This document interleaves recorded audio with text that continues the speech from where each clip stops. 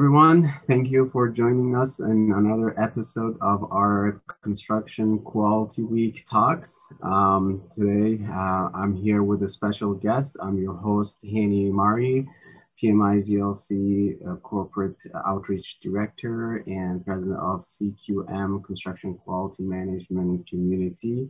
Uh, my guest today is Dr. Chad uh, Dorgan.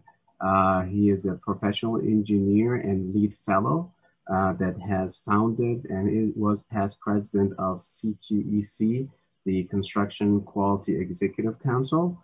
And without further ado, Chad, could you please introduce yourself to our guests? Well, glad to be here. Uh, thank you for having me. Uh, like I said, Chad Dorgan, been in the industry about 30 years, and I'd say a little bit non-traditional route to quality. Um, started way, way back uh, in the Air Force doing mechanical design.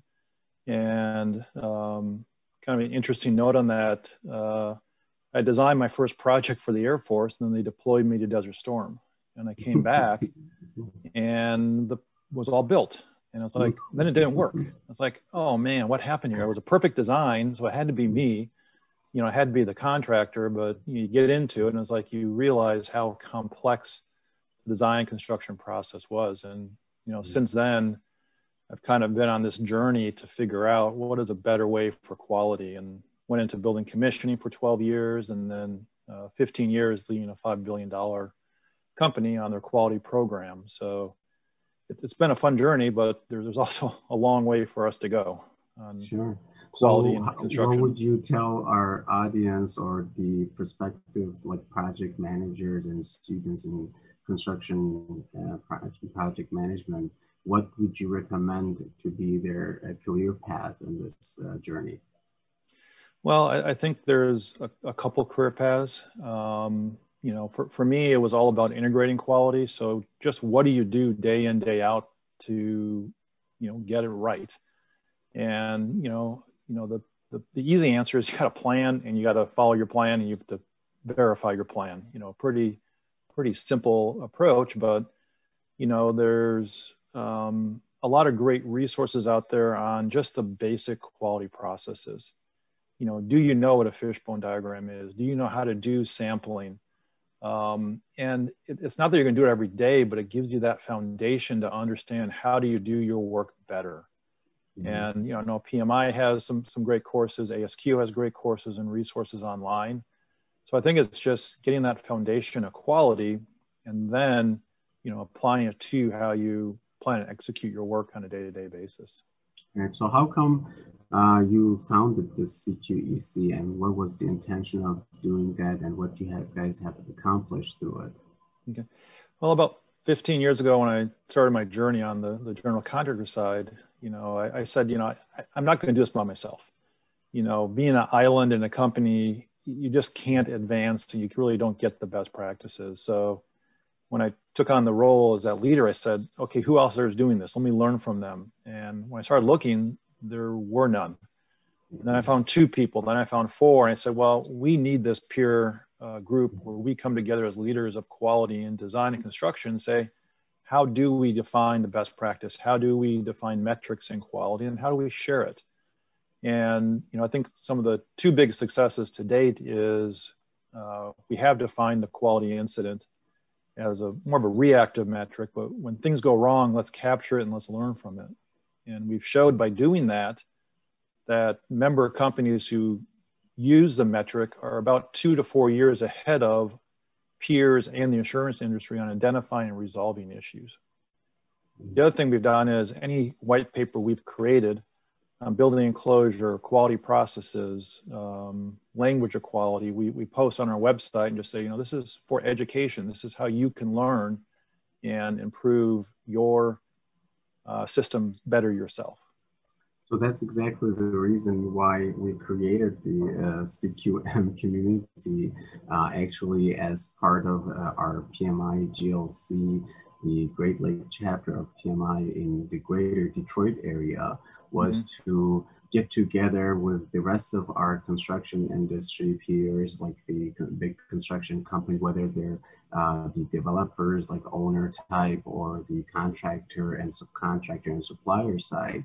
So we can do the same thing where we, we collaborate together and we can uh, share best practices. Yep. So the best way that we thought that this could happen is through discussion panels uh, on a quarterly basis. So every quarter we get together and we pick a topic like next uh, March, we're gonna talk about LEED and then the mm-hmm. following uh, June, we're going to be talking about IPD, Integrated Project Delivery.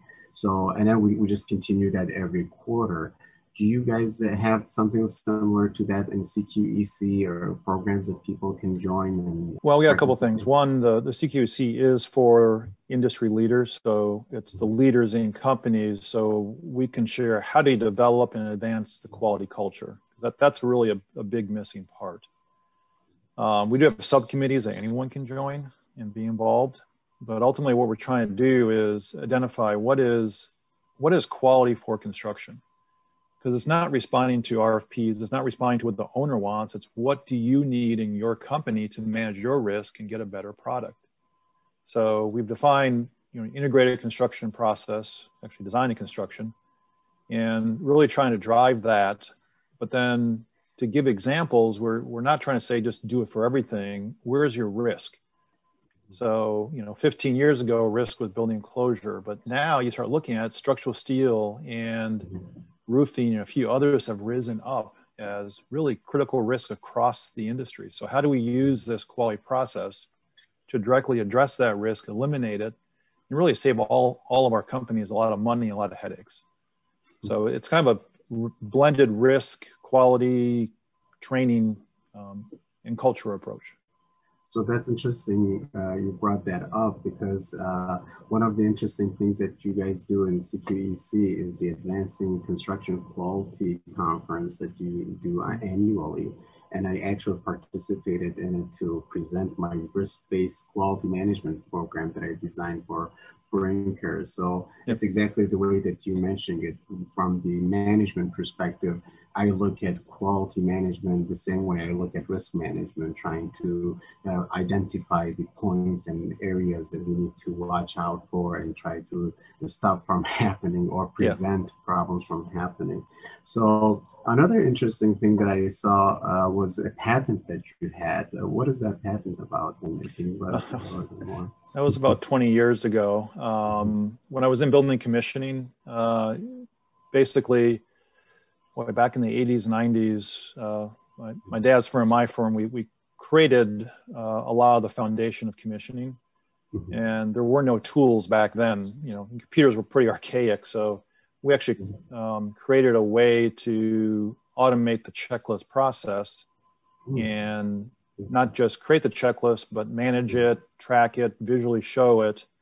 Mm-hmm. And we developed a patent around that in order to you know, hopefully improve so the industry you, on how you do that. Did you use like a software or anything for it, or do you have we, some product? We, we had a product back then, but when I left the company, you know, 15 years mm-hmm. ago, it kind of fizzled out. But you know, we well, still the patent. That's an area that we really need now in, in our industry. And uh, actually, yesterday our talk was uh, with um, Ed.